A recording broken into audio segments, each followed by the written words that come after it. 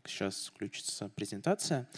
Да, собственно, меня зовут Даня, а, и я расскажу о том, как мы внедряем а, неявные сигналы пользователя в нашу систему и как с помощью этого мы улучшаем качество рекомендации а, и почему неявные сигналы — это круто. К слову о улучшении рекомендаций, улучшении качества рекомендаций, такие результаты мы получили уже после первой итерации внедрения неявных сигналов. На самом деле я здесь отмечу, что это довольно а, потрясающие результаты, и в нашей команде не часто удается получать подобные результаты. И давайте, собственно, рассмотрим, как этих результатов удалось достичь.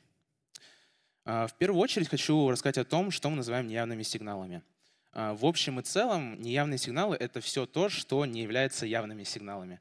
То есть не лайк, не репост, не подписка — а, здесь на самом деле на слайде перечислены основные неявные сигналы. Из них это клик по плиточке в ленте для вас, а, про которую рассказывал коллега мой Степа. Это пересылка поста в личку, открытие фото из поста и так далее. Другие сигналы. А, остановимся здесь на том, что было раньше, до того, как мы начали внедрять э, неявные сигналы. Пользовательское представление у нас заключалось э, в виде его подписок. То есть мы набирали, а, брали подписки пользователя и по ним набирали а, ближайших соседей и использовали это в качестве кандидатов. Вот. А, также раньше мы учитывали в основном явные сигналы в фичах и таргетах. А неявные же сигналы у нас учитывались вскользь на каких-то итерациях модели ранжирования в качестве таргета. Как раз таки тот мультитаргет, про который рассказывал Женя. И нам пришла в голову идея, что мы все-таки хотим э, учитывать все публичные данные, которые у нас есть о пользователе в полной мере. Э, и здесь у нас возникает проблема. Данных о неявных сигналах э, очень много, они являются очень шумными, и использовать их напрямую, как мы поступаем, например, с подписками пользователя, не получится. То есть мы не можем просто взять n последних сигналов и для них набирать ближайших соседей. Например, вы случайно там кликнули на какой-то пост, он оказался для вас нерелевантным, но в следующей сессии у вас будет еще больше этого контента. А, собственно, да, здесь возникает проблема а, того, что очень много нерелевантного контента будет, если использовать это напрямую. А, какие же подходы мы использовали и что нам помогло? Первое, конечно же, это кластеризация. Как раз-таки кластеризация нам помогает избавиться от э, вот этого шума, от каких-то случайных э, кликов, случайных сигналов и объединить э, в такие тематические кластера остальные сигналы, которые на самом деле что-то значат и как-то описывают пользователя. Здесь также остановлюсь на том, что мы пробовали использовать кластеризацию ранее, мы пробовали это делать с явными сигналами, но тогда это не принесло какого-то результата но как раз-таки в случае с неявными сигналами это оказало очень сильное влияние. А, контентная составляющая в эмбеддингах — это вторая часть, а, э, что нам помогло а, преодолеть проблему. До внедрения неявных сигналов мы прокачали наши эмбеддинги, и теперь при составлении эмбеддингов при построении мы учитываем контентную составляющую, что позволяет э, кластеризации объединять в кластера более такие эм, тематичные, похожие по тематике друг на друга сигналы. И теперь как мы представляем пользователя. А, теперь у нас пользователь представляется в виде n-кластеров его неявных сигналов. Внутри каждого кластера мы можем посчитать э, средний эмбеддинг, и как раз-таки уже отталкиваться от этих эмбеддингов и для них набирать ближайших соседей как э, кандидатов. А, тут же расскажу про плюсы данного решения. А, первый плюс — это то, что мы учитываем самые последние сигналы пользователей сразу. Пользователь покликал на какие-то, допустим, новые для него тематики, ему понравилось это, и уже в следующей сессии у нас заново происходит кластеризация,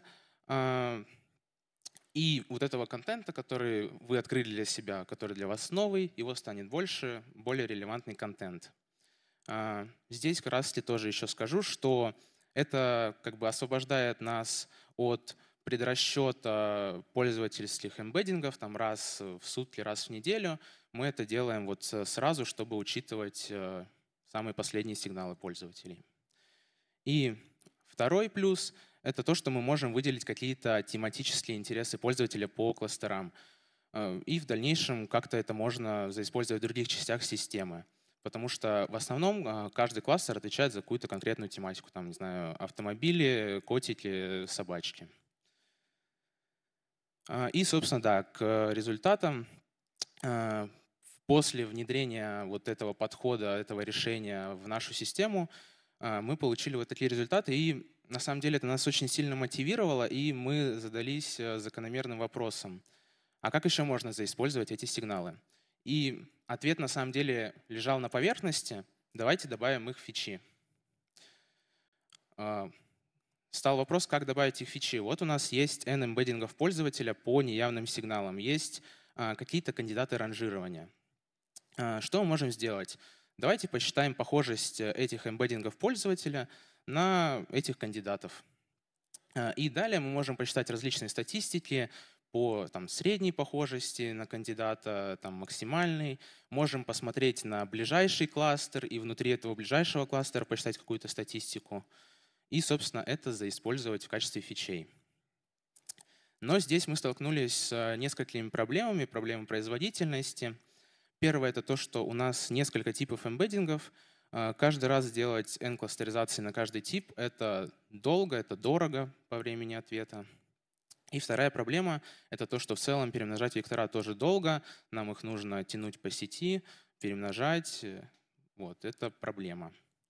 И к решениям, к которым мы пришли, первое решение с кластеризацией — это давайте хранить кэш кластеризации, как э, э, довольно-таки очевидно можно сделать, и обновлять его после сессии пользовательских сигналов э, в офлайне. То есть пользователь покликал что-то, и мы через там, некоторое время пересчитываем его кластеризации уже независимо там, от э, пользователя. И когда он приходит в следующий раз, у нас уже готовый кэш этой кластеризации, он учитывает последние его сигналы как раз и мы можем уже построить новую ленту рекомендаций. Решение с перемножением векторов. Мы попросили ребят э, из нашего бэкэнда, чтобы они написали отдельный движок для эффективного перемножения векторов – Таким образом, мы переносим как бы вот эту а, сложную computational часть там, нашего бэкэнда на другую машину, плюс нам не нужно тащить вектора по сети, мы можем просто передавать эмбеддинги пользователя и айдишники авторов, на которые нам нужно вот перемножить, сделать перемножение. Таким образом, на выходе мы получаем матрицу похожести, с которой мы можем уже считать там статистики всякие разнообразные и записывать это в фичи. И на данном слайде представлены первые результаты АБ-теста. На самом деле тоже очень сильно показательные. А, и мы приходим к выводу, как еще можно улучшить систему, используя данные сигналы. Учитывать неявные сигналы при построении эмбеддингов. Собственно, это та идея, которой мы планируем заняться в ближайшем будущем. И мы очень сильно мотивированы и рассчитываем на улучшение, дальнейшего, э, улучшение качества в дальнейшем благодаря вот неявным сигналам. Всем спасибо. Используйте неявные сигналы.